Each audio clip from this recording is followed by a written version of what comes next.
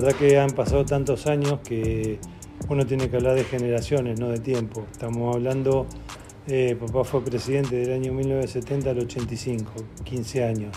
Quiere decir que son 50 años, aunque parezca mentira para atrás. Eh, la situación del club era difícil cuando él la tomó. Realmente había un grupo de gente que colaboraba con él, eh, con mucho cariño para el club. Y bueno, eh, después de salir de alguna situación financiera complicada, la idea fue proyectar al club institucionalmente, que no fuera solamente competencia deportiva, sino que se formara este, dentro del club dos áreas, un área de formación de divisiones inferiores y un área eh, donde la gente, los socios pudieran desarrollar actividades este, sociales, deportivas, eh, pero a nivel amateur. Eh, no tenía ningún predio donde pudiera hacer eso, con lo cual se buscó eh, muchas alternativas.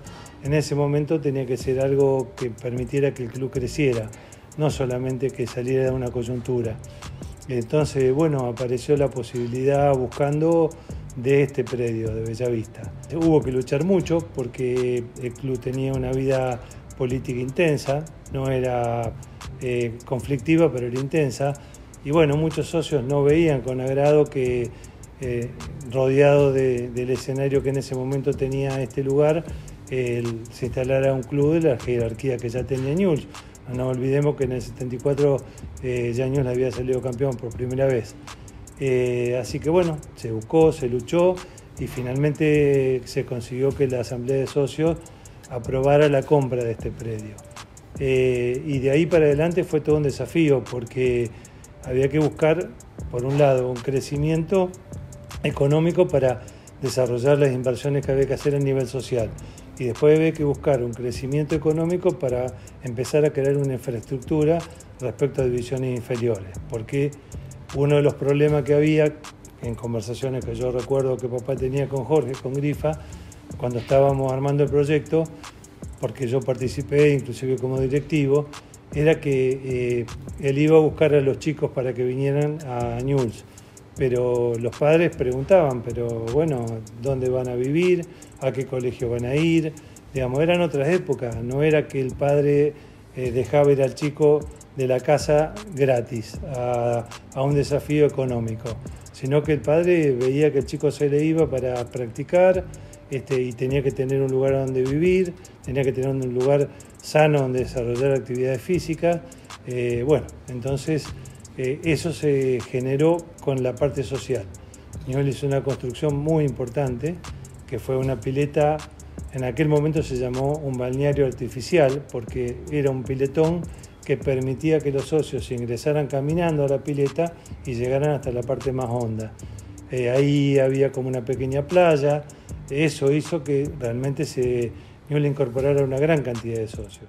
Ese fue el proyecto que hizo papá, que eh, tosudamente su, su, su, intención era que Newell creciera en la cantidad de socios, porque en ese momento la cuota social se pagaba, y el socio valoraba la cuota social que pagaba porque le, daba le permitía este, desarrollar actividades sociales que en esta zona y en esa época en Rosario había muy pocas instituciones que le ofrecían. Es decir, no había instituciones hace 40 años, estamos hablando, no había instituciones que le permitieran al socio, bueno, después nacieron otras como Provincial, este, eh, en el Parque Independencia mismo, que empezó a crear, pero no había infraestructura como para que los socios las familias tuvieran, que no tenían eh, una casa propia donde tener una pileta de natación, pudieran acceder al aire libre e interactuar con otras familias o venir en grupo. Eh, bueno, ese fue el proyecto. Que, y ahí fue donde creció grandemente la cantidad de socios del club. Con el producido de, la venta de, de esos jugadores se fue reinvirtiendo, se fueron haciendo más canchas, incorporando vestuario. Newell en principio, tenía la primera cancha que linda en la entrada, con un pequeño vestuario.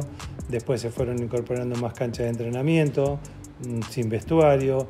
Después se fueron incorporando toda la parte social, que creció mucho, que tenía una, eh, no tenía un ingreso independiente porque en medio como que se mezclaban los mismos padres de los chicos que venían a practicar, este, se quedaban desarrollando actividades sociales, tomando mate, este, eh, haciendo vida de familia mientras los chicos practicaban.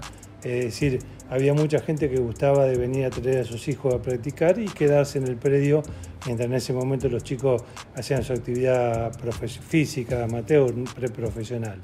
Después de, la última presidencia de papá, eh, hubo dos presidentes que siguieron con el proyecto, que fueron Gallo y García y después hubo otro presidente, no sé si nombrarlo porque que fue Cataño, que fue el que permitió que López eh, se fuera introduciendo este, en el club hasta cambiar los estatutos y eh, hubo 15, eh, durante la época de López no hubo elecciones.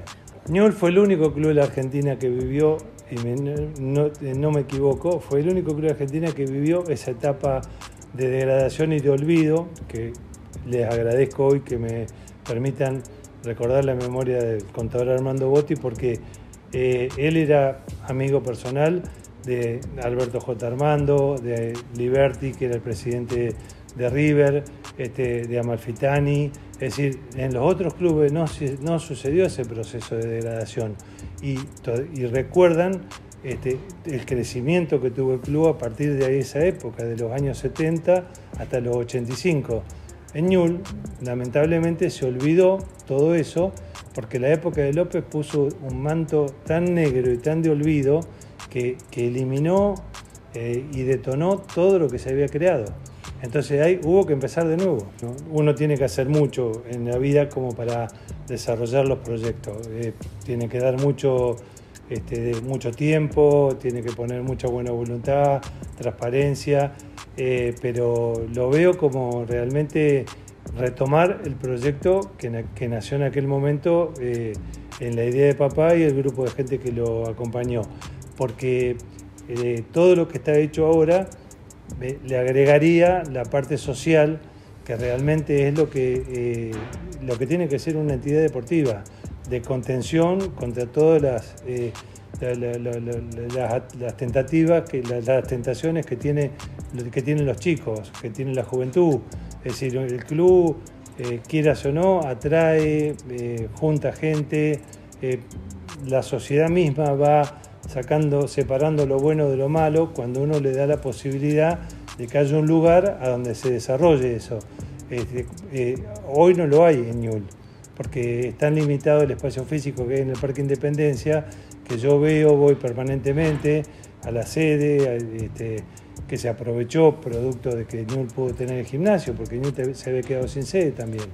Entonces, bueno, eh, lo lindo sería volver a traer la sede también acá este, y que bueno, esto fuera un ámbito integral, donde tuviera la parte administrativa y legal del club, donde tuviera la parte deportiva y profesional que hoy, se está desarrollando y donde hoy el socio en una parte de, esta, de este predio, con esta compra, pudiera volver a tener este, una vida dentro del club. Porque el club no es solamente ir a la cancha, eh, como sentarse a ver un partido de fútbol, eh, como mucha gente ya se ha acostumbrado. Porque al quitar la vida social, hoy la gente ve a Newell como sentarse a ver un partido por televisión codificada. Y la verdad que eso me duele mucho, porque yo viví lo que era la vida social y el engrandecimiento del club en ese momento. Y eso se destruyó y hay que empezar de nuevo. Se empezó, se ha logrado mucho, pero bueno, siempre hay que ser optimista y mirar para adelante. La sociedad tiene que refundarse y no necesariamente, digamos, la gente no llegó a, a tener la cantidad de socios y hinchas en Rosario que hoy tiene, que son mayoritarios, eh, gracias a este proyecto, gracias a que nació esto y, se pudo preservar. Eh, obviamente otras instituciones de Rosario copiaron y siguieron, porque cuando ven que a alguien le va bien, es inevitable que el proyecto este, otro pueda tratar de copiarlo, desarrollarlo. A lo mejor no de las mismas características, porque no todos somos iguales. Pero bueno, la gente de Newell siempre ha sido una gente buena, familiera y ojalá pueda volver a retomar y eso va a hacer de que tenga, crezca el número de socios y con la cuota social se pueda seguir invirtiendo, que es un grave problema que, tienen hoy las instituciones. Generar recursos para que la gente no solo vaya a la cancha, sino que encuentre un ámbito donde desarrollar actividades sociales. Este, así que me parece que va a ser para el club este, nuevamente un nuevo, este, empezar de nuevo y un crecimiento espectacular.